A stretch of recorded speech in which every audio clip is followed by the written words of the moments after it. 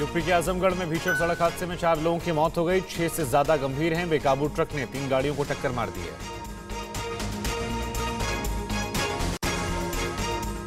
फ़िक्र आपकी।